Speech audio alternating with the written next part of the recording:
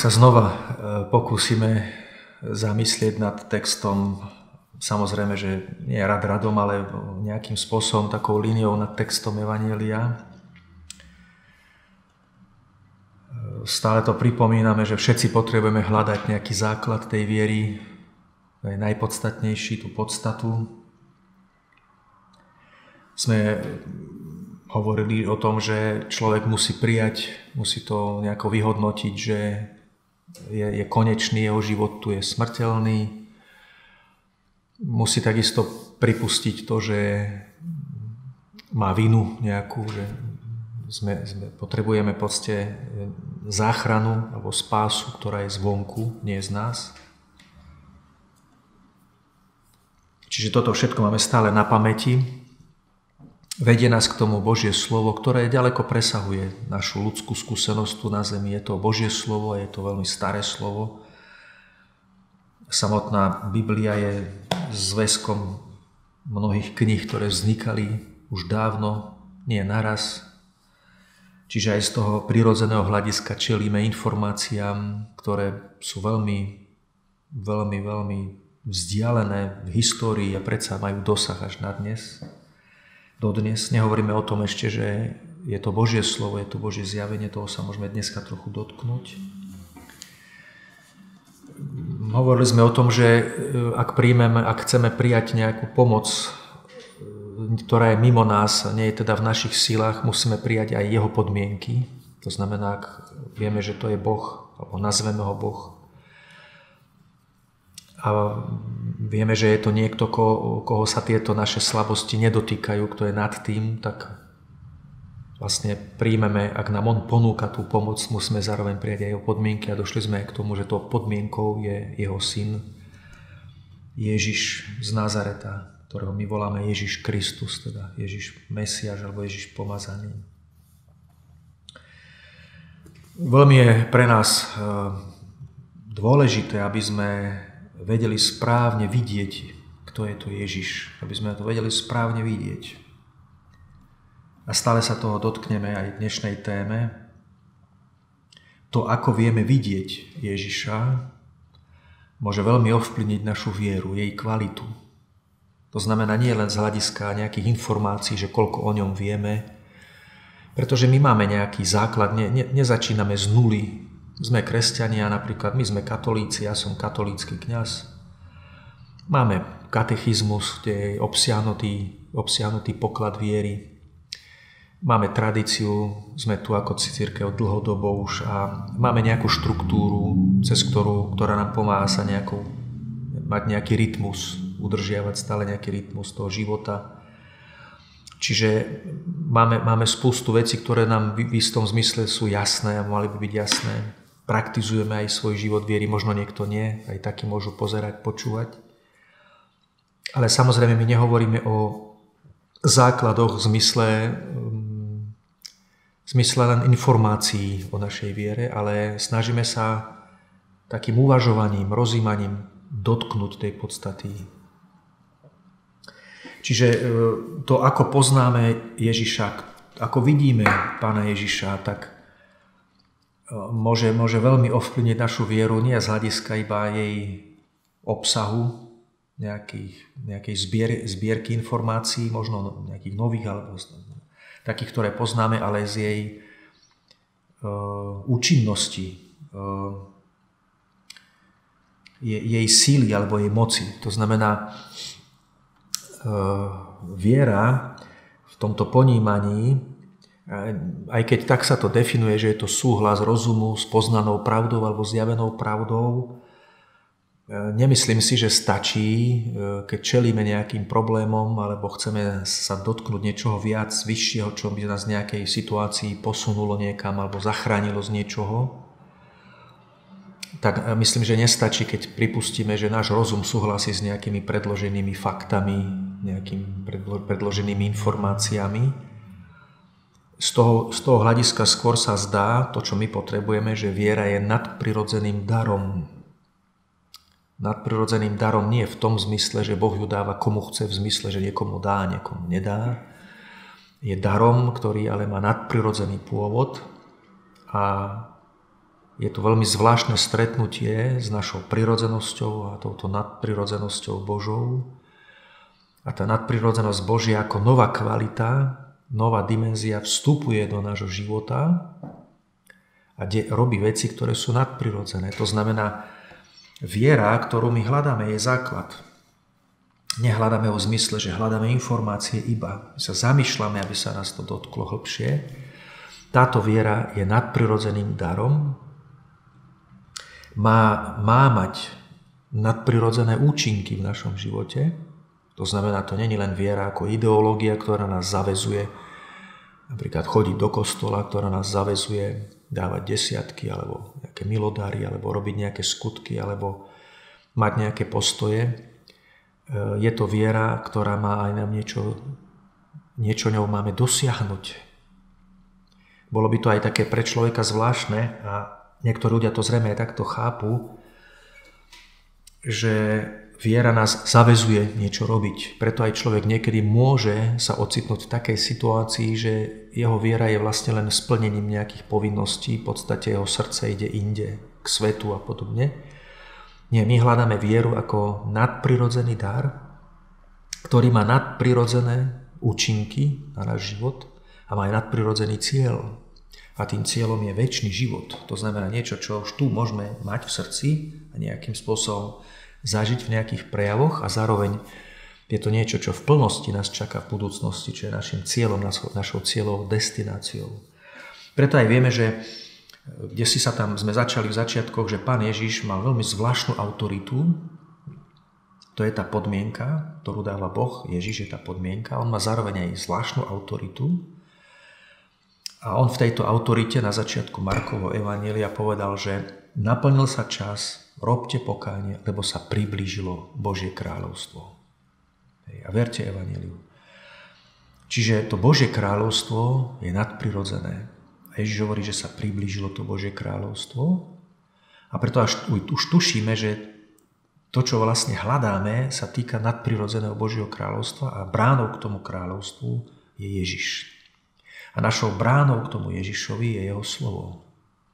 Preto sme na začiatku hovorili o tom, že Lukáš, teda, pardon, Matúš hovorí na začiatku ten citát z prorokov, keď hovorí, že hľa, posielam svojho posla pred tvojou tvárou a môžeme to, samozrejme to chápeme tak, že on poslal Jána Krstiteľa pred Ježišom, ale my to môžeme chápať aj tak, že to evanelium a ten autor evangelista, alebo ten skrytý autor, Duch Svetý, je pre nás tým, kto nám pripravuje cestu aby sme sa stretli s Ježišom. Na druhej strane nás vyzýva, aby my sme pripravili Ježišovi cestu, aby On mohol vstúpiť do nášho života. A toto robí to slovo, ktoré, nad ktorým sa zamýšľame. To je tá nadprirodzená viera, ktorú chceme oživiť, ktorú rozví, rozvíjať a ktorá má nadprirodzený základ, má nadprirodzené účinky a má nadprirodzený cieľ. Čiže to môže mať veľký dosah pre túto našu vieru, ako Ježiša poznáme. V Jánovom evaneliu 17. kapitole, keď sa Pán Ježiš modlí, a to sú veľmi zaujímavé, zvláštne chvíle, to si potom inokedy zase pozrieme, e, bolo zachytené evangelistami, ako sa Ježiš modlí k Otcovi. A musíme povedať, že Pán Ježiš pri modlitbe netriafal nejakými predpokladmi, že hej Bože, možno tam nejaký Boh si a čo keď tam si, hej, tak mi odpovedz. Ježiš sa modlil s istotou, absolútnou, od srdca k srdcu so svojím Otcom v milosti Ducha Svetého. To znamená, jeho výpoveď viery v modlitbe je pre nás úplným zjavením niektorých vecí. Okrem iného, v tejto modlitbe v 17. kapitole v 3. verši Pán Ježiš vyjadril, že,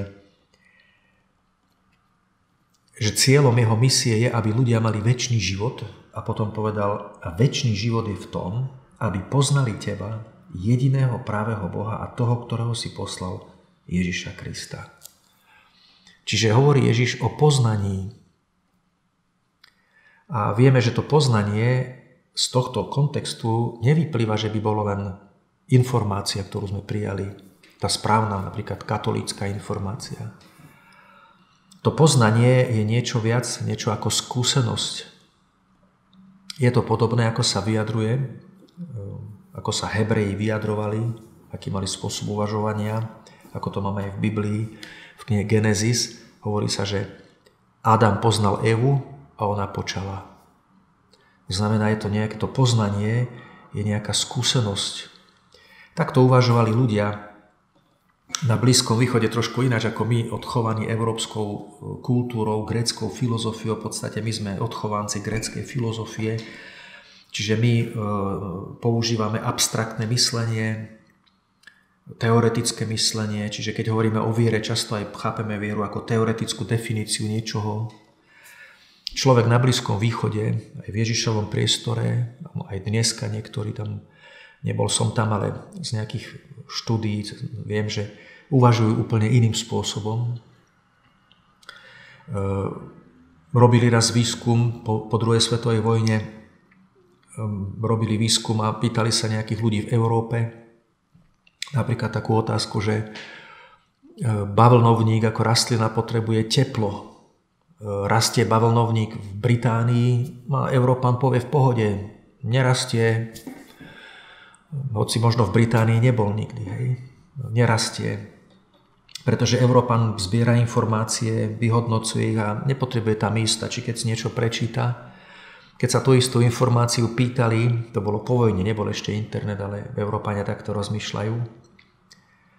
A tak tá odpoveď, takto, tá, tá otázka toho E, kto robil prieskum, bola, že bavlnovník potrebuje na svoj rast teplo. V Británii nie je dosť teplo. Rastie v Británii bavlnovník. A Európan odpovedal jednoducho z tejto, z tejto, z tejto rovnice, že samozrejme nerastie, lebo v Británii, keď nie je dosť teplo, tak tam nerastie. Keď sa toto isté opýtal človeka Beduína na Blízkom východe, Pýta sa Beduína, že bavlnovník potrebuje pre svoj rast teplo. V Británii nie je dosť teplo. Rastie v Británii bavlnovník. A Beduín odpovedal, neviem, nikdy som tam nebol.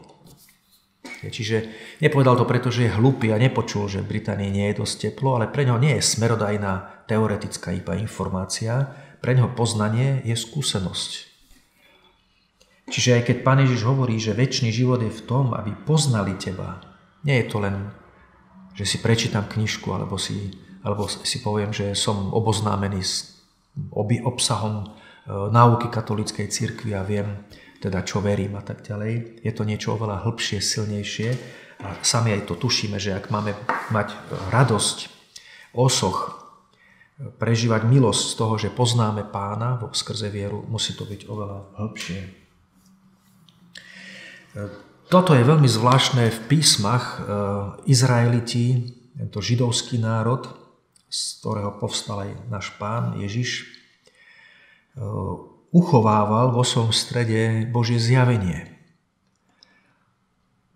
Claude Tresmontan, keď hovoril v jednej svojej knižke o, o tom rozdieli gréckého myslenia a kultúry oproti Hebrejom v Palestíne, tak Hovorí, že keď prídete do Palestíny, do Izraela, do nejakého múzea, nevidíte tam veľa artefaktov, tak ako v Grécku alebo v Egypte. Nájdete tam nejaké rolnícke potreby, pár nejakých krča, krčahov, nejakú keramiku a nejaké nástroje polnohospodárske. Čo tam ale nájdete? Nájdete tam zvitky, to znamená zvitky písma staroveké.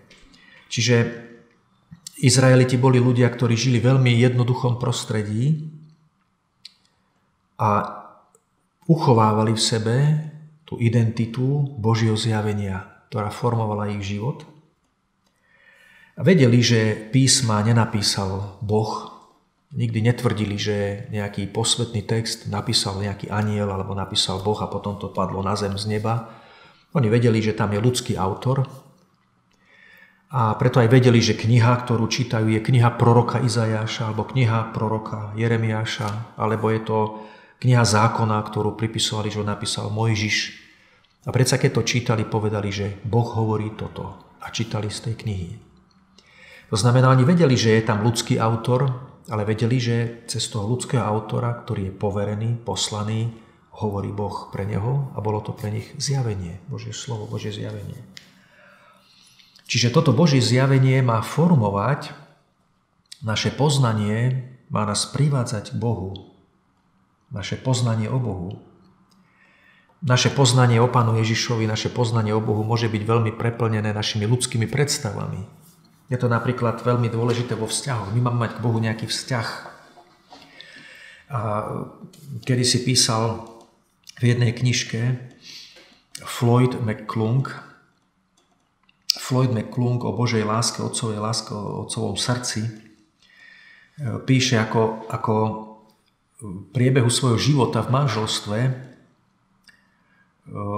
si uvedomil, že vlastne si nevzal, vo svojej predstave si nevzal manželku, konkrétnu ženu, ktorá má nejakú podobu, nejakú charakter, nejaké srdce, si zobral nejakú zmes, on to tak nazval, že zobral si takú zmes Bridget Bardot a matky Terezy.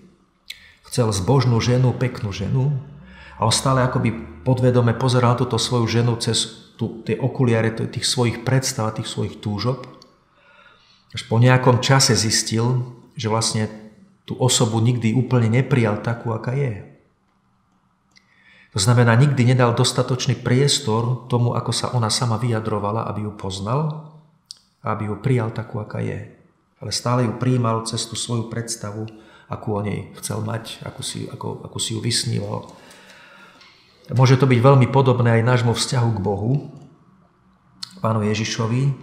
My môžeme veľmi silne prechovávať v sebe vlastné predstavy o tom, kde projektujeme vlastné túžby do predstavy o Bohu aby Boh naplnil naše predstavy o živote, aby bol On našou zárukou toho, po čom my túžime, čoho sa bojíme, čomu sa chceme vyhnúť. Ale našou záchranou nie je takýto Boh, pretože to je akoby taký ľudský Boh. Našou záchranou je pravý Boh, ktorý sa nám dáva poznať. To znamená to poznanie Boha, ktoré není z nás, ale ktoré prichádza do nášho života, keď počúvame to Božie zjavenie, keď ho sledujeme, keď ho príjmame, keď nad ním rozímame. Toto poznanie, ktoré Boh na nás, to od Boha na nás dolieha, tak toto poznanie nás vyslobodzuje, vyslobodzuje. A toto poznanie nám dáva vieru. Preto potrebujeme sa zamýšľať nad tým. Čiže e, osoba sa najviac prejavuje tým, že komunikuje. Čiže my, e, my keď budeme pozerať napríklad na nejakého človeka, že má pekné vlasy hnedé, tak ešte toho človeka nepoznáme, Môžeme počúvať toho človeka, že krásne spieva, má pekný hlas, tak ešte toho človeka nepoznáme. Ale keď začneme uvedomovať, čo nám on vypovedá zo seba, vlastne sa nám odkrýva niečo zo seba, dáva nám, keď ho budeme dobre počúvať, tak vtedy zistíme, aký ten človek je, vtedy ho spoznáme a vtedy ho môžeme prijať takého, aký je. Čiže aj my môžeme niekedy prechovať predstavy o Bohu, o Pánu Ježišovi, možno z detstva, nás niekto vychovával, Pán Ježiš je taký, Pán Ježiš je taký, Pán Boh je taký. Môžeme v ňom prechovať nejaké, v tom obraze môžeme prechovať nejaké predstavy, ktoré sú aj negatívne, alebo sú to len pozitívne, ale ne, ne, nestretávame sa s nimi, s tými predstavami zároveň aj s realitou o ňom. Čiže keď my prichádzame k Bohu, Jeho zjaveniu, a keď pozorne sledujeme to, kto Ježiš je, tak toto nám odkrýva ten Boží prameň, ktorý nám dáva spásu skrze vieru. To, je, to sa nedá nahradiť, nedá sa to nahradiť tým, že sa, že sa napríklad stále pohybujem v cirkvi, kde sa stále hovorí o Bohu, spomína sa Pán Boh, kde sa stále niečo rieši o Bohu, kde proste nenahradím to týmto, pokiaľ moje srdce nebude prichádzať k tomu prameňu, aby ten prameň dostatočne vnímalo a z toho prameňa by vyvstal Ježiš, aký naozaj je, lebo len taký Ježiš nás môže spasiť. A na takého Ježiša máme povedať, že veríme v Neho. Toto je, preto, preto je toto dôležité. A preto potrebujeme stále hľadať tento základ. V rámci tohto si teda musíme dneska pozrieť e, to, že je niečo zvláštne v Ježišovi Kristovi. Niečo zvláštne. A si ho povieme skôr ako otázku, že čo je na Ježišovi zvláštne? My vieme vysypať ako veriaci, ale skúsme to povedať neveriacim, hej?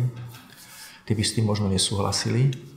Minule sme to hovorili o tých obrazoch Ježiša, že je Ježiš ako dobrý človek a podobne. My vieme vysypať, ako už poučení veriaci, že kto je Ježiš, že to je Boží syn a tak ďalej, ale možno veci, ktoré hovoríme, ktoré vieme a ktoré vypovedáme, nie vždy vnútorne sú, sme s tým stotožnení a tomu skutočne veríme. Tomu skutočne veríme. Čiže e, veľakrát sa môže stať, že ani nepočúvame dostatočne Ježiša, že vlastne o čo ide jemu, keď nás oslovuje. Častokrát môžeme začať v tom bode, že máme predstavu, že Ježiš nám môže niečo splniť. Tak ideme za ním. A chceme, chceme ho urobiť svojim kráľom. Ale hovorí sa, keď to ľudia chceli urobiť, Ježiš odišiel. Nedovolil to. Čiže my môžeme vysypať, že že čo, čo všetko Ježiš je. Ale nechcem teraz, aby sme to vysypali, ne, nem, aby sme si to preopakovali. Chcem, aby sme sa pozreli na to, aký je Ježiš. Samozrejme, pozrieme sa len na nejakú časť, alebo nejaký jeden rozmer toho. Čiže musíme sa opýtať, že je niečo v Ježišovi zvláštne. Je niečo zvláštne. No, spomínali sme to už minule, keď sme hovorili, že Ježiš napríklad povedal v istej autorite, že odpúšťajú sa ti hriechy a Židia, ktorí boli veľmi citliví na také veci, tak povedali, že kto to je ten človek? Veď hriechy môže odpúšťať len Boh. Čiže vidíte, aké veci vyvolával pán Ježiš a neospravedlnil sa, že prepačte, ja som to tak nemyslel, on to tak myslel. Čiže aj my dneska si kladieme otázku, že čo je zvláštne na Ježišovi.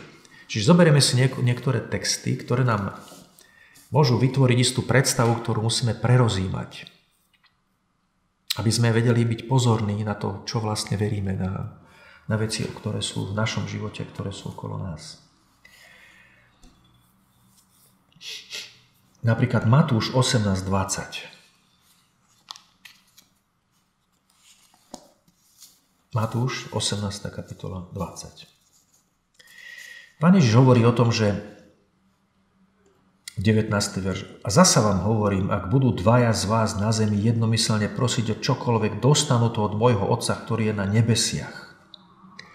Ale mne ide hlavne o ten dodatok, ktorý Ježiš tomu hovorí, že lebo kde sú, to hovorí živý Ježiš, nie je vzkriesený ani ten, ktorý hovorí o tom, že ako to bude, keď už tu nebude. To hovorí živý Ježiš svojim učeníkom, ktorí tam stáli a on tam bol ako živý. Hovorí toto, lebo to, to slovo lebo je veľmi dôležité. To znamená, že niečo, niečo keď povie Pán Ježiš lebo, znamená, že niečo odôvodňuje. Čiže Pán Ježiš povie prislúbenie, že kde sú budú dvaja alebo traja modliť spolu za nejakú vec, dostanú to od môjho Otca, ktorý je na nebesiach. To teraz nerozoberáme, to hovorí raz o modlitbe, ale mňa zaujíma to, keď povie Ježiš lebo. Prečo to bude fungovať? Lebo. Lebo kde sú dvaja alebo traja zhromaždení v mojom mene, tam som ja medzi nimi. Ježiš nehovorí, že lebo kde budú dvaja a traja zhromaždení raz v mojom mene, tam budem ja, ale kde sú dvaja alebo traja zhromaždení v mojom mene. To znamená, že Ježiš, keď bol tu na zemi, ako človek, niečo zvláštne sa dialo. Všade okolo, nejaká zvláštna situácia tam spočívala všade. To znamená to, že Ježiš bol tam, Veľmi zvláštna situácia. To sa musíme naučiť rozumieť, vnímať, prijať, naučiť sa byť voči tejto veci pozorný. Možno hneď na začiatku. To znamená, že aj teraz, keď napríklad sa zaoberáme, my môžeme byť cez internet dvaja alebo traja.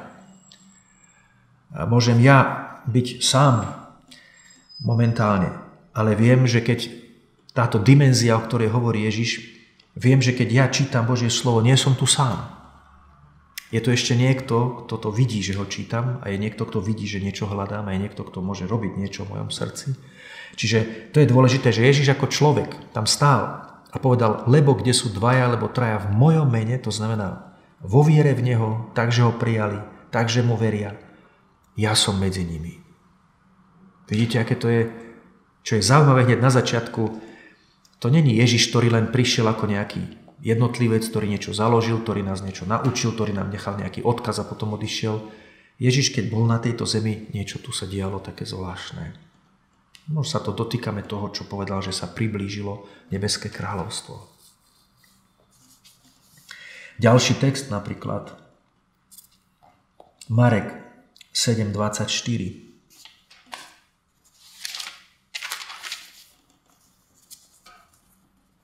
Je tam taký príbeh o uzdravení syrofeničanky. Hovorí, hovorí pán Ježiš, že a potom sa hovorí, že, že stalotiaľ odišiel do končín Týru, Sidonu, vošiel do jedného domu, lebo nechcel, aby, sa, aby niekto o ňom vedel. ale nemohol sa utajiť, lebo len čo sa o ňom dopočula istá žena, ktorej dcéra bola posadnutá nečistým duchom, prišla a hodila sa mu k nohám. Žena bola grékyňa rodom Síro Feničanka a prosila ho, aby vyhnal zlého ducha z jej céry. On jej povedal, nechaj, nech sa najprv nasítia deti, lebo nie je dobre vziať chlieb deťom a hodiť ho štenatám. Ale ona mu odvetila, pane, aj šteniatá jedia pod stolom odrobinky po, po deťoch. Ja teraz nerozoberám ten príbeh, čo sa tam stalo, len chcem to slovo, ktoré Ježiš na konci povedal, to sa týka našej témy teraz, že čo zvláštne bolo v Ježišovi Kristovi, keď bol tu na zemi. A Ježiš hovorí toto. Pre tieto slova choď, zlý duch vyšiel z tvojej céry. A keď prišla domov, našla dievča ležať na posteli a zlý duch bol preč. Vidíte, čo zvláštne bolo tam, že bol tam nejaký človek ďaleko, nebol na tom mieste, bola tam komunikácia medzi ženou a Ježišom. Ježiš videl nejaký postoj tej ženy a len skonštatoval, že pre tieto tvoje slova choď, zlý duch vyšiel z tvojej céry.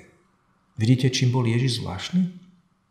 Jaké veci zvláštne sa diali, Napríklad, keď ľudia s ním komunikovali ohľadom nejakých vecí inde, a zrazu Ježiš iba skonštatuje, ani nič neprikazoval, ani nič nenariadoval, iba skonštatoval, že niečo sa stalo v jeho mene.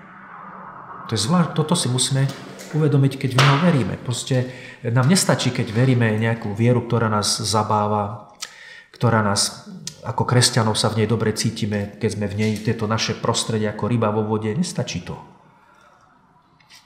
Musíme, musíme v tom vidieť ten zmysel tej moci, ktorú to Božie kráľovstvo Ježišovi nám prináša.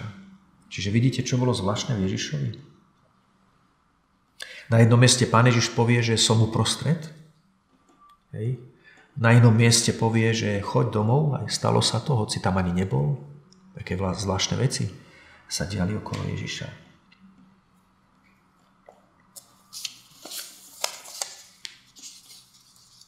Marek 9.23 napríklad. Uzdravenie posadnutého chlapca. Hovorí sa, že, že Ježiš prišiel na miesto, kde sa nejakí jeho učeníci snažili vyhnať zlého ducha, ale nemohli. A keď to zbadal otec, tak prišiel za Ježišom, hovorí, nemohli vyhnať zlého ducha tak ďalej. Môj syn stále ho niečo trápi, pada do ohňa, potom do vody a potom zrazu vykríkne, že ale ak niečo môžeš, zlutuj sa nad nami a pomôž nám. Ježiš mu povedal, ak môžeš. Všetko je možné tomu, kto verí. Zvláštne slovo. A chlapcov otec hneď vykrikol, verím, pomôž mojej nevere. Veľmi zvláštna prozba, že pomôž mojej nevere. Verím tomu, že ten človek si uvedomil, že tu sú veci, ktoré ho presahujú, keď Ježiš hovorí o viere. To bol veriaci človek, pravdepodobne bol to žid. Nebol ateista. A keď si uvedomil, že Ježiš hovorí takéto veci, on povedal, pomôž nám, ak môžeš. Ježiš hovorí, opodal sa takú otázku, ak môžeš? Ako by povedal, čo sa na to pýtaš? Je to je samozrejme. Všetko je možné tomu, kto verí. Čiže myslel Ježiš seba, že on verí. A myslel na toho otca, že neboj sa, keď budeš veriť vo mňa, Všetko je možné. Vidíte, aké zvláštne veci boli v Ježišovej blízkosti súvisiace s jeho osobou.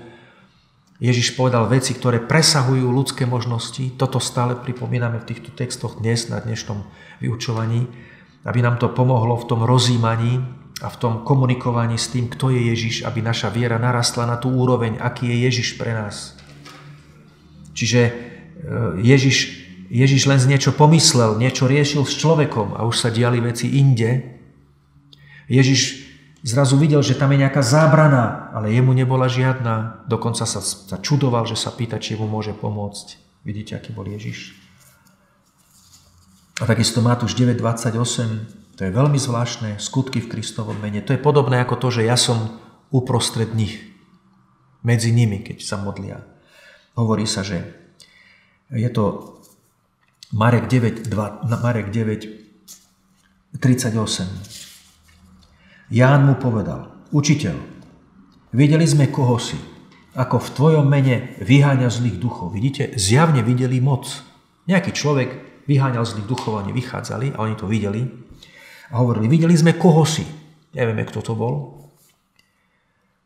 Bránili sme mu to. Veď nechodí s nami. To znamená, není poverený tebou, není tu s nami pri tebe a robil to, tak sme mu bránili. Ježiš vravel, nebránte mu, lebo nik, kto robí divy v mojom mene, nemôže tak ľahko zle hovoriť o mne. Ježiš skonštatoval, že ten človek robil v Ježišovom mene divy, to znamená nadprirodzené skutky. A pritom s Ježišom ani nechodil, ani s ním nekomunikoval. Ani Ježiš nepovedal, že pod za mnou. To znamená, že niečo bolo tam prítomné, keď tam bol Ježiš. Niečo ako keby bolo stále takto vo vzduchu. Niečo ako keby padalo tam na zem, všade, kde bol Ježiš, tu na zemi. A nejaký človek inde, ktorý ani s nimi nechodil. Niečo prijal, uveril, ani mu to Ježiš nekázal a zrazu fungovalo to. To znamená, vidíte, niečo zvláštne bolo prítomné, keď bol Ježiš na zemi. Ježiš bol niečím zvláštnym. Preto si to uvedomujeme, preto si to nad tým rozímame, lebo to nám veľmi pomôže potom neskôr, keď budeme roz, rozoberať o tom, že ako máme chodiť vierou, čo máme sa snažiť veriť, vidieť a tak ďalej. Je to ťažká téma, dnes sme možno na takéto veci aj nezvyknutí. Predmetom našej viery sú neviditeľné veci, to znamená, nevieme ich teraz ukázať ani dokázať, ale Bože slovo je veľmi zvláštnym zjavením pre nás. Čiže vidíte, tam bol nejaký človek, ktorý ani Ježiš s ním nekomunikoval, ani ho nehovoril o ňom, ani pochopil to, čo učeníci ešte nepochopili. Začal robiť vo viere to, čo Ježiš možno chcel a zrazu oni videli, a videli, že sa tam niečo deje. Ježiš povedal, robiť divy v mojom mene. Potom máme napríklad Lukáš, 10. kapitola. To je také zvláštne, už aj veľmi známe slovo. Na začiatku sa hovorí, že potom si pán vyvolil iných 72 a po dvoch ich poslal pred sebou do každého mesta a na každé miesto, kam sa sám chystal ísť. Chystal sa tam ísť, ale nešiel tam, pretože nemohol, nestíhal. Nemohol ísť všade, chystal sa tam ísť, mal zámer nejaký, mal nejaký zámer. Vidíte? Ježiš mal nejaký zámer, ale nešiel tam, tak sa hovorí, že vyvolil si 72 a poslal ich tam v jeho mene. A keď sa tí, keď sa tí 72 vrátili, tak hovoria, že 72 sa vrátili natešení a hovorili, pane, aj zlí duchovia sa nám poddávajú v tvojom mene. On im povedal, videl som padať satana a tak ďalej. Neriešim teraz modlitbu oslobodenia, ani to, či ju máme robiť, nemáme, to bude inokedy možno.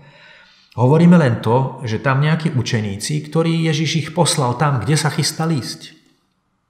Iba im povedal niečo, možno sa nad nimi modlil, nevieme, nie tam, nie tam povedané, čo robil.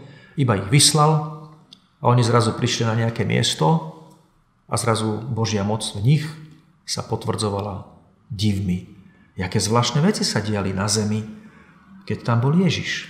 A nediali sa len v jeho blízkosti, diali sa aj úplne inde, kde ani neprišiel. Toto musíme vidieť, takýto bol Ježiš. Čiže Ježiš nebol iba dobrý človek, Ježiš nebol iba nejaký humanista, nehovoril iba o láske, Ježiš bol niečo, úplne niečo viacej. A súvisí to s tým, čo Ježiš na začiatku deť vyhlásil, že priblížilo sa Božie kráľovstvo. Čiže túto tému toto, čo my tu robíme, o čom tu rozprávame, treba meditovať, prerozímať, treba si to stále znova sa do toho pozerať v Božom slove. Nemyslím si, že ja, e, nemyslím si, že, že keď niekto počúva toto, čo ja hovorím, že tým sa to vyrieši. Vyrieši sa to tým, keď budeme to hľadať a zaoberať sa tým, o čom tu hovoríme, Čiže my tu len pripomíname niektoré veci, ktoré možno v bežnom živote viery aj robíme ten život viery, uskutočňujeme ho a nemáme niekedy čas v bežnom živote viery, v bežných tých povinnostiach sa nad tým v podstate zamyslieť, v koho vlastne veríme a aký je Ježiš a vlastne aké prostredie, kde my žijeme, čo vlastne okolo nás v tom neviditeľnom svete môžeme čakať alebo máme čakať. Takže našou úlohou je, aby sme toto slovo, ktoré sme tu citovali, možno aj iné samozrejme, ja to dávam len ako návrh, si všímať pozorne, čítame Evangelium podľa Marka, pomáhame si inými výrokmi z inokade, ale môžeme si pokra- doma čítať na, to, na pokračovanie. A nad týmito vecami, o ktorých hovoríme, sa zamýšľame. Prečítame si Božie slovo v modlitbovom postoji, zavrieme oči, porozmýšľame nad ním, zase si ho prečítame, odložíme to. Zase premyšľame nad tým v modlitbovom postoji, že Pane, aký si a o čom to vlastne hovoríš, aký je Ježiš a to sa vstrebáva do nás, nás to vnútorne nejakým spôsobom ovplyvňuje a vlastne chceme kráčať cestou, ktorá nám zmotivuje, povzbudí našu vieru, ale nie to, že sa viacej umocníme v tom, čím sme, ale je to, aby sme naozaj nachádzali toho Ježiša s, tým, s tými účinkami tej nadprirodzenej viery ako daru, ktorá, ktorá z toho, že v Neho veríme, pramení. Tak Pán Boh zaplaďa Stretneme sa potom na budúce.